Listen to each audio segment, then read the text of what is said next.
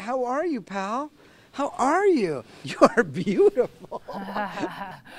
well, that is my friend Tom Sherry yes. petting a cow well, about to milk a cow. Yeah, make friends first. Yes, right, at a local farm. Something you don't see every day or really ever, Tom Sherry milking a cow. Well, I'm telling you, it was great. I'm not quitting my day job just yet, but I did get to be a dairy farmer for just a few minutes today as Bessie and I, number 428, uh, got to know each other a little bit better. It's all in celebration of Tom's Turkey Drive and our partnership with the Dairy Farmers of Washington and Darigold.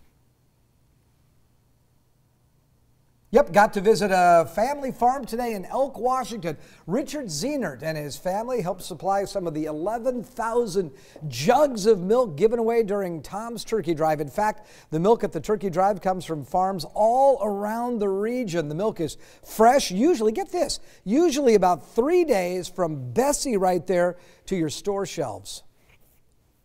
We produce the healthiest product, I think, a food product that there is. It's clean, it's natural, uh, it's it's diversified. You make cottage cheese and cheese and ice cream and yogurt, and it's more than just milk.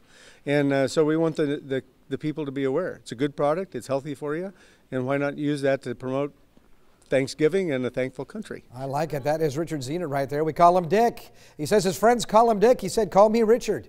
Now, he was a very wonderful man with a super family. Four generations on that farm. And what better way to celebrate that fresh milk than with fresh cookies from Grandma Darlene. Thank you very much. A great day with great folks. Again, as I just mentioned, four generations of family there. I say thank you, thank you, Thank you for supporting Tom's Turkey Drive and supporting folks in need. By the way, Tom's Turkey Drive right around the corner, November 17th and 18th. Your $20 donation will buy a full Thanksgiving dinner for a family in need. On the 17th and the 18th, we will be out live at all of the Rosauers stores, hoping you can help us out. And again, in each of those donated bags that you end up purchasing for folks, uh, we get that beautiful half gallon of milk from Richard's Farm and other dairy farms around the region right in there, and it's really wonderful. They donate all of it.